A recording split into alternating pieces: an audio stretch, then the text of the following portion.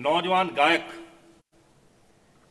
ਗੀਤਕਾਰ ਅਤੇ ਅਦਾਕਾਰ ਸ਼੍ਰੀ ਸ਼ੁਭਦੀਪ ਸਿੰਘ ਸਿੱਧੂ, ਜੋ ਵਿਸ਼ਵ ਦੇ ਵਿੱਚ ਸਿੱਧੂ ਮੂਸੇਵਾਲਾ ਦੇ ਨਾਂ ਤੋਂ ਚਰਚਿਤ ਸਨ।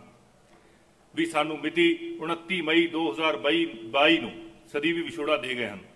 ਉਹਨਾਂ ਦਾ ਜਨਮ 11 ਜੂਨ 1993 ਨੂੰ ਪਿੰਡ ਮੂਸਾ, ਜ਼ਿਲ੍ਹਾ ਮਾਨਸਾ ਵਿਖੇ ਹੋਇਆ। ਉਹਨਾਂ ਨੇ ਸਾਲ 2022 ਦੀਆਂ ਵਿਧਾਨ ਸਭਾ ਚੋਣਾਂ ਵਿੱਚ ਹਲਕਾ ਮਾਨਸਾ ਤੋਂ ਚੋਣ ਵੀ ਲੜੀ।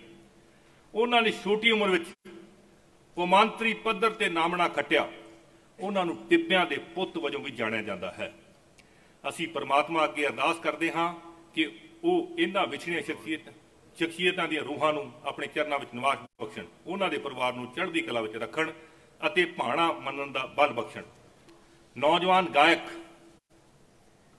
ਗੀਤਕਾਰ ਅਤੇ ਅਦਾਕਾਰ ਸ਼੍ਰੀ ਸ਼ੁਭਦੀਪ ਸਿੰਘ ਸਿੱਧੂ, ਜੋ ਵਿਸ਼ਵ ਦੇ ਵਿੱਚ ਸਿੱਧੂ ਮੂਸੇਵਾਲਾ ਦੇ ਨਾਂ ਤੋਂ ਚਰਚਿਤ ਸਨ। ਵੀ ਸਾਨੂੰ ਮਿਤੀ 29 ਮਈ 2022 ਨੂੰ ਸਦੀਵੀ ਵਿਛੋੜਾ ਦੇ ਗਏ ਹਨ। ਉਹਨਾਂ ਦਾ ਜਨਮ 11 ਜੂਨ 1993 ਨੂੰ ਪਿੰਡ ਮੂਸਾ, ਜ਼ਿਲ੍ਹਾ ਮਾਨਸਾ ਵਿਖੇ ਹੋਇਆ। ਉਹਨਾਂ ਨੇ ਸਾਲ 2022 ਦੀਆਂ ਵਿਧਾਨ ਸਭਾ ਚੋਣਾਂ ਵਿੱਚ ਹਲਕਾ ਮਾਨਸਾ ਤੋਂ ਚੋਣ ਵੀ ਲੜੀ। ਉਹਨਾਂ ਨੇ ਛੋਟੀ ਉਮਰ ਵਿੱਚ ਕੌਮਾਂਤਰੀ ਪੱਧਰ ਤੇ ਨਾਮਣਾ ਖੱਟਿਆ। ਉਹਨਾਂ ਨੂੰ ਟਿੱਬਿਆਂ ਦੇ ਪੁੱਤ ਵਜੋਂ ਵੀ ਜਾਣਿਆ ਜਾਂਦਾ ਹੈ। ਅਸੀਂ ਪਰਮਾਤਮਾ ਅੱਗੇ ਅਰਦਾਸ ਕਰਦੇ ਹਾਂ ਕਿ ਉਹ ਇਹਨਾਂ ਵਿਛੜੀਆਂ ਸ਼ਖਸੀਅਤ ਸ਼ਖਸੀਅਤਾਂ ਦੀਆਂ ਰੂਹਾਂ ਨੂੰ ਆਪਣੇ ਚਰਨਾਂ ਵਿੱਚ ਨਿਵਾਸ ਬਖਸ਼ਣ, ਉਹਨਾਂ ਦੇ ਪਰਿਵਾਰ ਨੂੰ ਚੜ੍ਹਦੀ ਕਲਾ ਵਿੱਚ ਰੱਖਣ ਅਤੇ ਭਾਣਾ ਮੰਨਣ ਦਾ ਬਲ ਬਖਸ਼ਣ।